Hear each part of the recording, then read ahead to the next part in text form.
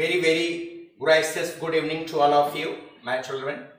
This is Santosh Srivastava from Super 60 Education Hub. And today I am with a, a new type of segment that is called Logy and uh, Study Words.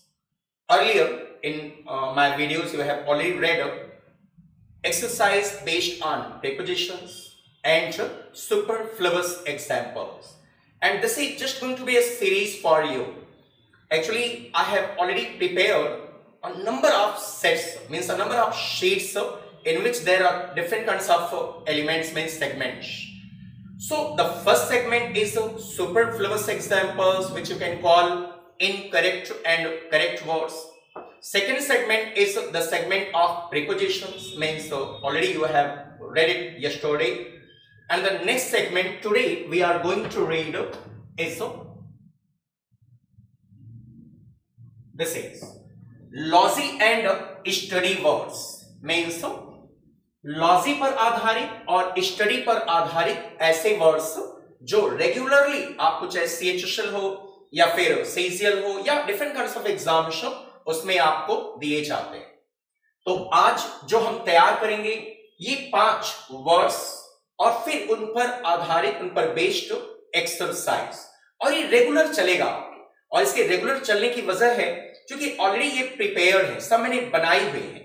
बस आप चूँकि भूल जाते हैं तो मैं इसे टोटल शुरू से पूरा रिवाइज करा दे रहा हूँ। जो भी बच्चा कंपटीशन को बीट करना चाह रहा क्रैक करना चाह रहा, वो ज़रूर ज़रूर इन्हें तैयार करे। आप देखेंगे बहुत सारे क्वेश्चंस आपको मेरी इस डेली डोज नामक शीट से आपको मिल जाएगा और आपको बहुत खुशी होगी यदि ऐसा होगा। तो चलिए आज से शुरू करते हैं। लॉजी एंड स्टडी वर्स ये बदलता रहेगा। अगला जो सेक्शन होगा मेरा, वो फ्रेजर वर्क का होगा। फिर आगे ऐसे रिपीट हो जाएँगे शीट टू में शीट थ्री में, ऐसे मैं पूरा रेगुलरली आपको देता जाऊँ, ठीक है? तो चलिए शुरू करते हैं। पहला वर्ड है आर्कियोलॉजी संयोग से अभी ये वर्ड बहुत फ़ेमस हुआ। क्यों? क्योंकि आपने अयोध्या के प्रकरण में, उसके रेफरेंस में आपने कई बार इस वर्ड को सुना होगा कि आर्कियोलॉजिस्ट ने इस तरीके का विश्लेषण दिया है। This is archaeology which is made from arch and logy archeo and logy archaeology क्या होता है? पुरातत्व विज्ञान।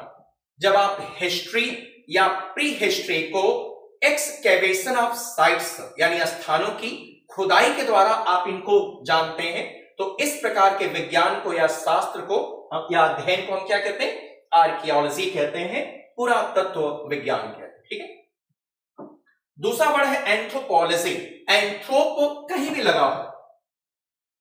ये जो एंथ्रोप है, ये कहीं भी लगा होगा. एंथ्रोप मीन्स मानव होता है और लॉजी मीन्स अध्ययन होता है. जब भी आप ह्यूमन काइंड का स्टडी करते हैं, उसे इंग्लिश में हम एंथ्रोपोलॉजी कहते हैं मीन्स मानव विकास विज्ञान कहते हैं. ठीक है? नेक्स्ट वर्ड है आपका डरमेटोलॉजी कहीं भी अगर डर्मा लगा है मीन्स त्वचा होती है. और कहीं भी लॉजी है मीन्स उसका अध्ययन हो जाएगा। तो डर्मेट्रोलॉजी मीन्स हो त्वचा रोग विज्ञान, जिसमें आप स्किन के डिसऑर्डर से संबंधित अध्ययन करते हैं, वो डर्मेटोलॉजी होता है। नेक्स्ट वर्ड है पैथोलॉजी यानी patho plus logic path means दो होता है पैथोस मीन्स दो होता है। दवाएँ भी होती हैं और भावनाएँ भी होती हैं। यहाँ पे जो है हमारा, वो अध्ययन किस चीज़ का?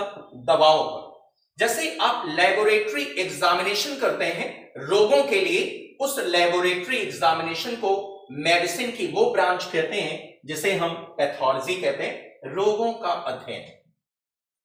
और लास्ट है न्यूरोलॉजी न्यूरो समझते होंगे मीन्स जो आपका स्नायु तंत्र होता है नर्वस सिस्टम होता है तो मेडिसिन की वो ब्रांच जिसमें आपके नर्व्स या नर्वस सिस्टम के डिसऑर्डर्स से संबंधित अध्ययन किया जाता है, उसे हम न्यूरोलॉजी कहते हैं तंत्रिका या स्नायु विज्ञान कहते हैं।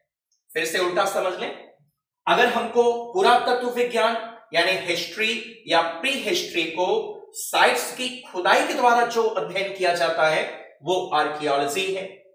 मानव विकास विज्ञान क्या है? ह्यूमन काइंड के डेवलपमेंट से संबंधित जो अध्ययन है वो एंथ्रोपोलॉजी है। त्वचा रोग विज्ञान क्या होता है? स्किन के डिसऑर्डर्स से संबंधित जो विज्ञान होता है, वो डर्मेटोलॉजी होता है। रोगों का अध्ययन हम किसमें करते हैं? पैथोलॉजी में करते हैं, जहाँ पे लेबोरेटरी एग्जामिनेशन के द्वारा इस पर अध्ययन किया जाता है, और तंत्रिका या स्नायु विज्ञान किसको कहते हैं हम? न्यूरोलॉजी को कहते हैं। तो आज ये पाँच अच्छे वर्ड्स पाँचों हमारे एग्ज़ाम्स के लिए कंपल्सरी हैं। आर्कियोलॉजी एंथ्रोपोलॉजी डर्मेटोलॉजी एथोलॉजी और न्यूरोलॉजी मीन्स न्यूरोलॉजी ये पाँच वर्ड्स अब हम इनको देखते कैसे हमें एग्ज़ाम्स में दिए जाते हैं। हमारा फ़ायदा क्या होगा? जिस तरीके से एग्ज़ाम्स में दिए जाते हैं, वो भी हम कर सकते हैं।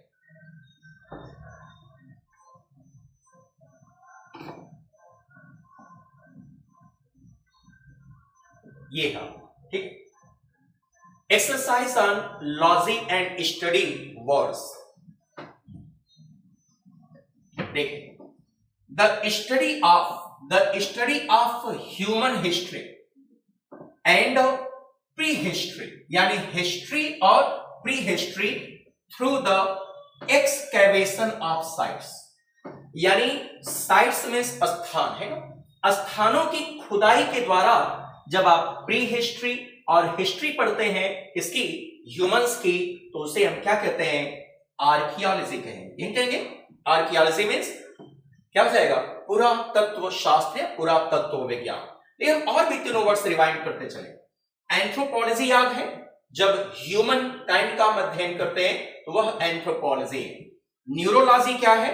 नर्वस या नर्वस सिस्टम से संबंधित जो डिसऑर्डर्स होते हैं, उनकी एनाटॉमी वगैरह का अध्ययन करने के उनके फ़ंक्शन का जो अध्ययन होता है, वो न्यूरोलॉजी है। और पैथोलॉजी क्या है? लेबोरेटरी जो एग्जामिनेशन होता है, उसे हम मेडिसिन के उस ब्रांच को पैथोलॉजी कहते हैं okay next the branch the branch of medicine that deals with the laboratory examination ये क्लू है ना आपका? लेबोरेटरी एग्जामिनेशन की वो ब्रांच मेडिसिन की क्या कहलाएगी? डर्मेटोलॉजी तो नहीं होगी। डर्मेटोलॉजी क्या होती है? स्किन डिसऑर्डर्स के लिए होती है। न्यूरोलॉजी तो नहीं कहलाएगी। न्यूरोलॉजी क्या होती है? नर्वस या नर्वस सिस्टम के डिसऑर्डर्स के लिए होती है। पैथोलॉजी कहलाएगी। यही होगी? लेबोरेटरी एग्जामिनेशन के लिए क्या है?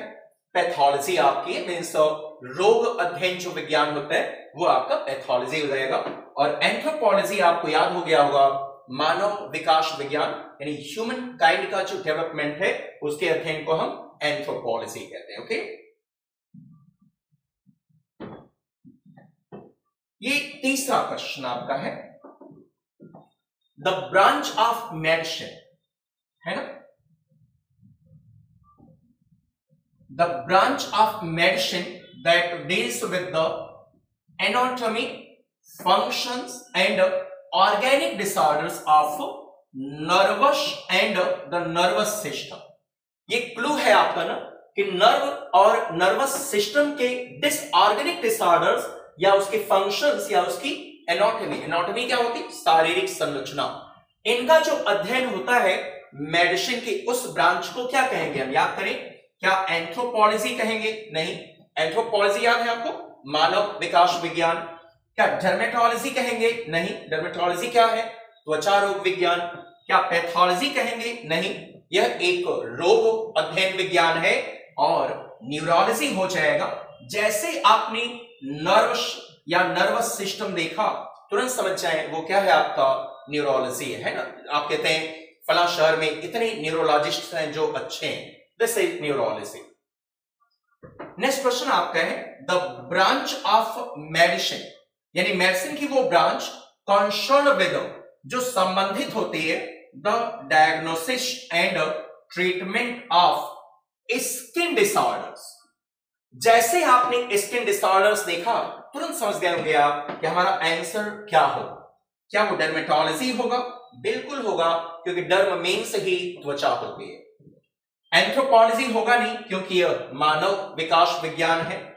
न्यूरोलॉजी होगा नहीं, क्योंकि यह स्नायु या तंत्रिका तंत्र विज्ञान है। और आर्कियोलॉजी नहीं होगा, क्योंकि इसमें हम साइट्स की खुदाई के द्वारा जो हिस्ट्री और प्री हिस्ट्री है, उसके बारे में जानते हैं।